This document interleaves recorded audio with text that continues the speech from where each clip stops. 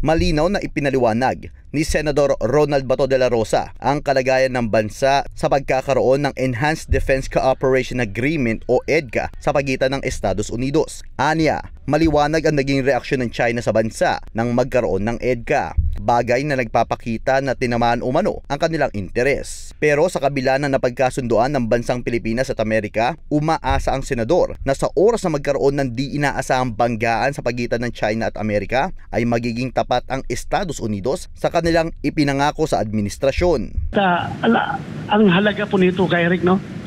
Yes, ay sir. makikita mo in terms of reaction ng China.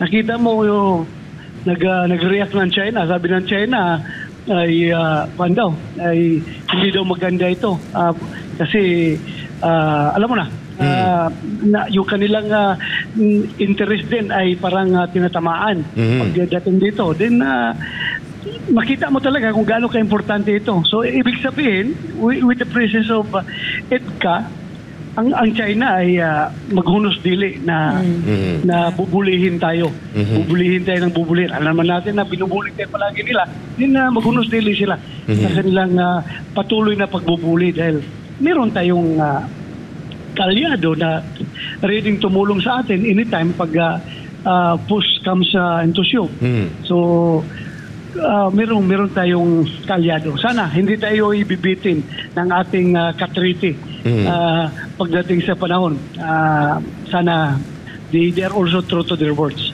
Dagdag pa ni Bato, kung sakaling sumiklab ang gulo sa pagitan ng Amerika at China, nilinaw nito na nasa ilalim pa rin ng pangangasiwa ng Philippine government ang EDCA sites. Since itong mga IDCA sites Mhm. ay within the military camps of the armed forces of the Philippines, ang may control nito ay tayo pa rin, ang Okay. Philippine government pa rin at ah, ah, hindi hindi nila masas, hindi nila masasabi na hindi natin masasabi na ah, kampo ito within our jurisdiction tapos Mm. wala tayong control ang mga Amerikano lang ang ah, may control hindi makapasok yung mga opisyalis natin sa DND, opisyalis natin sa Armed Forces of the Philippines. Uh, to it na walang ah, walang walang ah, wala itong uh, disadvantage to the national interest of the ah, Filipino nation. Sa kabilang banda naman ay binahagi ng senador kung ano ang maidudulot ng pagkakaroon ng EDCA site sa mga lugar na malapit dito.